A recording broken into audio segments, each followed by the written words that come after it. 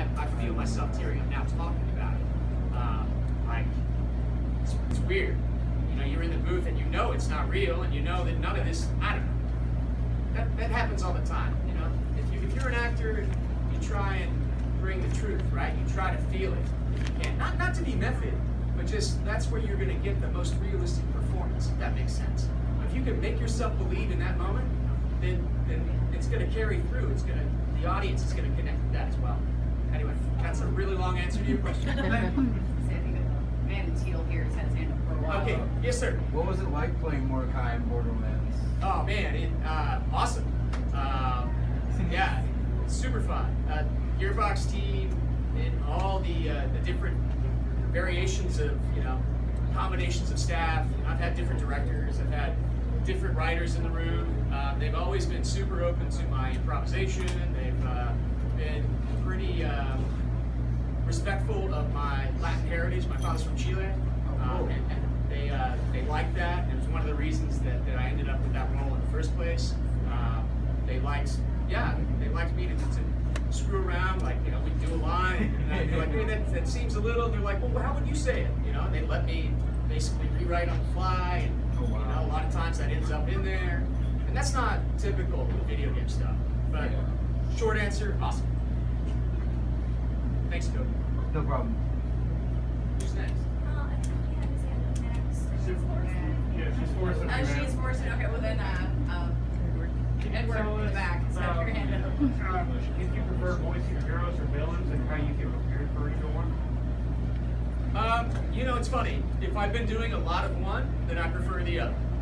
Um, always. Um, I don't know. I tap into the more earnest part of myself. No, no pun intended. I know my first name is Ernesto, but uh, when I play a hero, I, I want to be sincere and be who I really am at my core. And, and, and my intention on this earth is to be, you know, a good man and a, a, you know a heroic person. Not necessarily.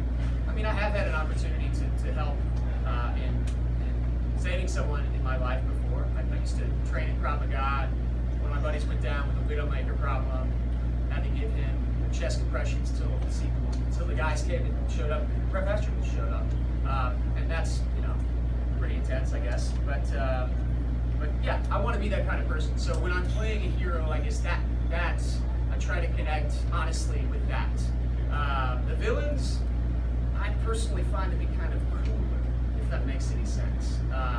And they're not all like that. Like some are ridiculous, but you know, a villain like Dabi is distinctly to me super cool. You know, every scene I've seen him in, even when it's a clone of his getting his butt kicked, I still think he's cool. Like even if it's just 20% him, I'm like, oh, he's still cool. Even if he loses, he's cool. Uh, I've definitely played some villains where I've been like, oh, great, man, shut up. I guess I gotta say it anyway. It's written. Anyway, does that answer your question?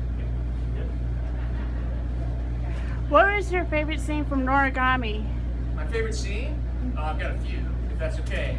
Um, is interesting. Yato is my most, uh, I refer to him as my most schizophrenic character. An accurate description. He is he is everything. He is a hero. He's a goofball, and he's every shade in between. Um, I like the scene where he pops up in the covers of her bed. I think that's awesome. really, really weird uh, with that that made me laugh out loud in the recording of it. Not not what I did, just like looking at the animation, I laughed out loud. I mean, it was like, this is awesome. The animation is awesome. The impulse behind this moment is awesome. Um, when he got in the trash can, Oh, yeah. like what the, that whole episode where they're falling and Yeah. I don't know, that stuff is hilarious. And then I love it when he becomes a warrior. Like that, that seems very, I don't know. He's a character that all these things seem possible and true. Know what I mean? Yes. You're in love and also easily misunderstand. Indeed, indeed. Even even when your voice is.